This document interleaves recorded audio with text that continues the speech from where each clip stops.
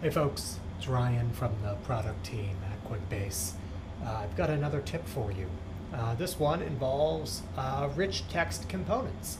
Um, you can try this one out for yourself by accessing new form, uh, clicking the add here button and selecting rich text component. I already have one here. What I wanted to show you was a way that you can add a little extra splash of color to your forms to help your users uh, see important information more quickly. So to do that, uh, select your rich text component and flip on the background color toggle.